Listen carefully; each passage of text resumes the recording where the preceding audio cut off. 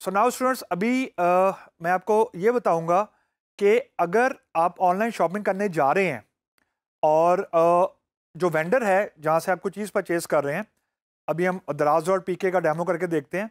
तो अगर वेंडर ने गैस कैश की सर्विस परचेज की हुई है यानी इससे मुराद ये है कि वेंडर ने अपना जो जैज़ कैश है उसके थ्रू पेमेंट करने की सर्विस अपने शॉपिंग कार्ट में अनेबल की हुई है तो आप फिर और दराज और पीके में ही रहते हुए फॉर एग्जांपल आप कैसे पेमेंट कर सकते हैं using Jazz Cash online payment gateway यानी डेबिट कार्ड और क्रेडिट कार्ड के थ्रू आप पेमेंट कैसे कर सकते हैं, इसका हम लोग अभी एक डेमो करके देखते हैं। सो नाउ स्टूडेंट्स अब देखें कि मैं दराज डॉट पीके पे गया। मैंने ऑलरेडी कोई चीज़ परचेज़ की हुई है। एक फ़ुटबॉल मैंने परचेज़ की हुई है। एक मैंने एलईडी वॉच परचेज़ की हुई है। अगर मैं कोई और चीज़ फॉर एग्जांपल यहाँ से ऐड करता हूँ लेट सपोज़ ये एक और एलईडी वॉच या लेट सपोज़ ये बैट ऐड करता हूँ मैं। तो बाय नाउ पे मैंने क्लिक किया। मेरे पास ये शॉपिंग कार्ट में आ गया। मैंने बाय नाउ पे फिर क्लिक किया और मैंने उसके बाद यहाँ पे चेकआउट में किया। मैंने क्लिक किया तो उसने मुझसे अब डिफरेंट ऑप्शन पूछी। ये आपकी जबान में रखेगा, मैं ऑलरेडी लॉगिन हुआ हुआ हूँ। तो जो भी आपका यूज़र नेम पासवर्ड होगा, आप जब भी लॉगिन होंगे तो शॉपिंग कार्ट के थ्रू आप कर सकते हैं। तो जैसे ही अब आप चेकआउट पे क्लिक करेंगे तो आपसे एड्रेस पूछेगा। आप एड्रेस पे क्लिक करें कि यूज़ दिस एड्रेस उसके बाद आपके पास यहाँ पे शॉपिंग कार्ट आ जाएगा। मैंने ऑलरेडी तीन चार चीज़ें ऐड की हुई हैं। मैं यहाँ पे सेव एंड कंटिन्यू पे क्लिक करता हूँ। जो हमारा मकसद था ना, वो ये था कि अब आपको मैंने ये दिखाना है कि how you can pay with your debit card and credit card using Jazz Cash online debit card इन्होंने, अब आप देखें यहाँ पे आपके पास इजी पैसा का भी लोगो आ रहा है जैस कैश का भी आ रहा है और वन लिंक का भी आ रहा है यानी आप डायरेक्ट बैंक में ट्रांसफ़र भी कर सकते हैं कैश ऑन डिलीवरी का भी आ रहा है एंड सो ऑन अब हमारा जो फोकस है अभी ना वो this is the second one debit and credit card by Jazz Cash अब आप ये देखें, जैसे ही आप यहाँ पे क्लिक करेंगे ना तो आपसे पहले वो ये कहेगा कि जी आप वेरीफाई कर लें कि जो आपका क्रेडिट कार्ड है, वो इंटरनेशनल या ऑनलाइन पेमेंट्स के लिए अनेबल भी है कि नहीं. रीज़न बींग फॉर एग्ज़ाम्पल कुछ बैंक्स हैं ड्यू टू सिक्योरिटी रीज़न वो आपका जो डेबिट कार्ड या क्रेडिट कार्ड है, वो बाय डिफ़ॉल्ट यानी ऑटोमेटिकली खुद से खुद से अनेबल नहीं करते ऑनलाइन ट्रांजेक्शन के लिए. ये कुछ बैंक की लिमिटेशन होती है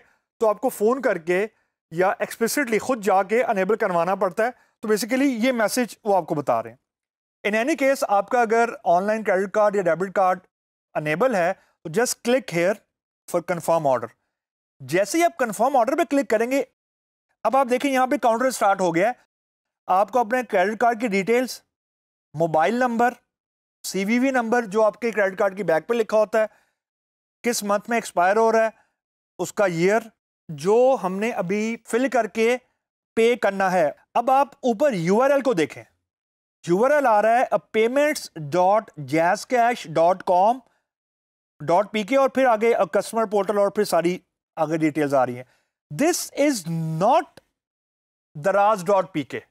ये आपको मैं समझाने की कोशिश कर रहा हूँ। अब आप रीडायरेक्ट हो गए हैं जैस कैश वालों के पोर्टल पे और ये आप उसी वक्त होंगे जब दराज डॉट पी के या जो वेंडर है आपका, यानी आप यू समझें जो आपका ऑनलाइन स्टोर है, उन्होंने as a company account purchase किया होगा, यानी कॉपरेट अकाउंट परचेज किया होगा फ्रॉम सर्विस प्रोवाइडर हमारे केस में जैस कैश तो now this is a separate thing obviously हम लोग अभी डेमो करें तो मैं यहाँ पे डिटेल नहीं दूँगा, लेकिन the objective of showing you this thing कि अब आप इस वक्त जैस कैश के पोर्टल के ऊपर हैं, आप दराज डॉट पीके के पोर्टल के ऊपर नहीं है। और यही हम डिस्कस कर रहे हैं कि this is how any online transaction work के आपको एक एक सेपरेट सिस्टम पे रीडायरेक्ट कर दिया जाता है। अब अगर आप यहाँ पे क्रेडिट कार्ड इन्फॉर्मेशन सही दे देंगे तो आपके ईमेल भी आ जाएगी और पैसे डिडक्ट भी हो जाएँगे। और जो बैंक अकाउंट नंबर इस वेंडर ने अटैच किया होगा, उसमें आपके अकाउंट से डिडक्ट किए हुए पैसे, यानी कस्टमर के अकाउंट से डिडक्ट किए हुए पैसे वेंडर के अकाउंट में ट्रांसफ़र हो जाएँगे। And this is how both of the of the participant will receive the money and online transaction इस तरीके से कंप्लीट हो जाएगी। अब जैसे देखें, ये टाइम बॉक्स ये ख़त्म हो गया। अब उसने कहा सेशन विल एक्सपायर तो अब ये सेशन एक्सपायर हो गया और and explicitly this is due to security reasons और ये वापस अब देखें आपको, जैसे ही वो सेशन का टाइम खत्म हुआ है, वापस आपको वो दराज डॉट पी के पे ले आया and look at the message payment was not successful और ये जो दो मिनट का टाइम है, ये दराज डॉट पी के वालों ने नहीं रखा। ये जैस कैश वालों ने रखा हुआ है।